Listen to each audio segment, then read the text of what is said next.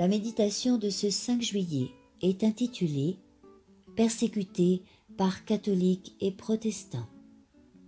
Vous serez haïs de tous à cause de mon nom, mais celui qui persévérera jusqu'à la fin sera sauvé. Matthieu 10, 22. Nous ne devons pas penser que nous ne pourrons pas supporter la persécution. Nous aurons à passer par des temps terribles. Les persécutions du protestantisme par le catholicisme, qui avait presque anéanti la religion de Jésus-Christ, seront surpassées lorsque le protestantisme et le papisme s'uniront. Le peuple de Dieu qui garde les commandements affrontera sous peu une situation extrêmement difficile mais tous ceux qui auront marché dans la lumière et l'auront propagée verront que Dieu interviendra en leur faveur. Quand la situation semblera insupportable, le Seigneur révélera sa puissance à ses fidèles.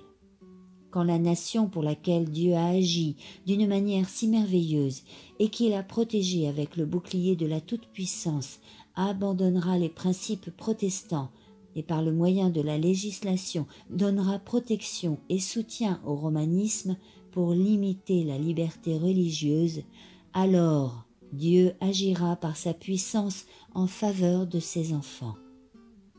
La tyrannie de Rome sera exercée, mais Christ sera notre refuge.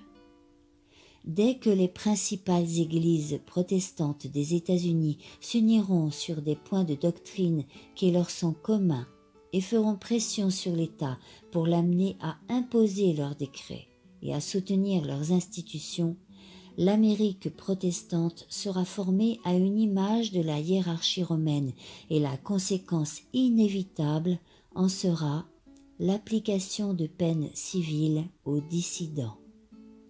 Les Écritures enseignent que la papauté va regagner sa suprématie et que les feux de la persécution seront rallumés à la suite de compromis consentis par un monde prétendu protestant. En ce temps périlleux, nous ne pouvons résister que si nous possédons la vérité et la puissance de Dieu.